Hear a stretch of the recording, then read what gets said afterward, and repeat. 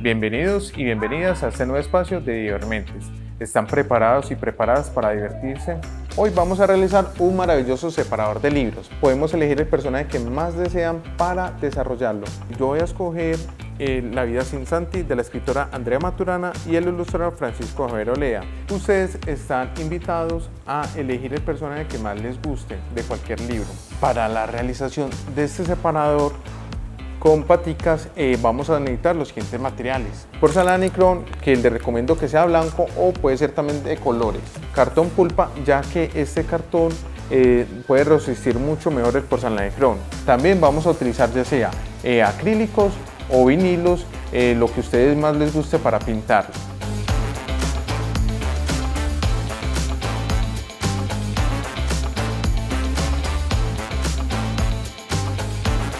Luego de dibujarlo, eh, continuamos a pintarlo. En mi caso voy a utilizar lápices de colores y lo voy a mezclar con acuarela.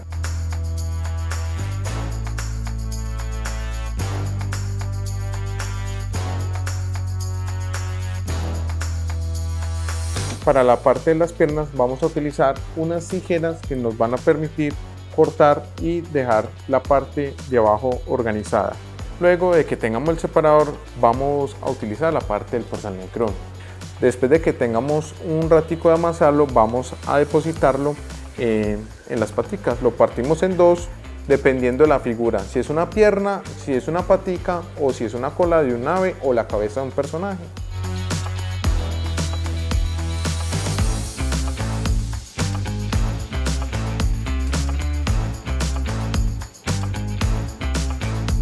Una vez terminado de pintar, dejamos que se seque en lo posible uno o dos días y ya tenemos nuestro separador de libros, el cual podemos utilizar tanto para regalar como para guardarlo y separar nuestras propias lecturas. Muchas gracias niños y niñas, espero que hayan disfrutado y se hayan divertido bastante.